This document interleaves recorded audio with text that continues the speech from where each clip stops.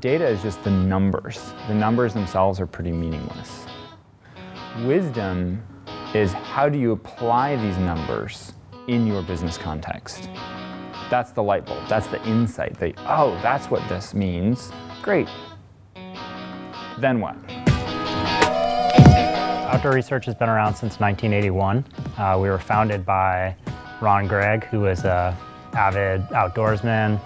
Um, and back then, one of the things you would regularly carry in your backpack was a speedoll and a needle and thread because you'd be constantly repairing your gear in the field. And he just believed that you know, he could uh, he could make things better. The traffic to our website has absolutely exploded. It's quadruple what it was three years ago. And the customers were starting to really ask, like, why can't I purchase it on your website? I don't want to go to the retail store. I don't want to have to flip over to this other website. I want to purchase it from you. When we decided to launch the e-commerce business, we did a lot of research within the sort of certified uh, Google Analytics community, and Caleb and Analytics Pros just came extremely highly recommended. The solution that we need to put together included a stack of services uh, and processes and technology. How does outdoor research know their customers and know what they're interested in? Are they making the right products? Are they making products people want to buy? Are they making them the right sizes and the right colors? How do you do that at scale?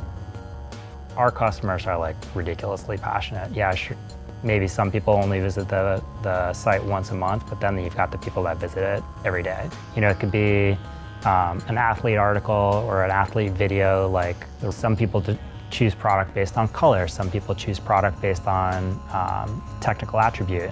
Your data needs to tell your story. It needs to talk about your customers. It needs to speak to your web application or mobile application. Visits to a website don't buy things people buy things. Traditionally, a lot of analytics tools have measured visits. Uh, we really are more interested in, in understanding who those people are, what they're looking for, and how we can best serve them. In the past, we were saying uh, blog visits didn't really account for any revenue. But now when we were looking at users, we could see that 38% of revenue was tied to users that engaged with the blog. We mapped out things like tracking out of stock so that we could plan for the future or video views so we could try and decide on how valuable is it for us to produce a product video. Um, so those were all questions that we had and Analytics Pros was, was able to build custom dimensions and events and, and goals around all of those types of data points that we wanted to gather.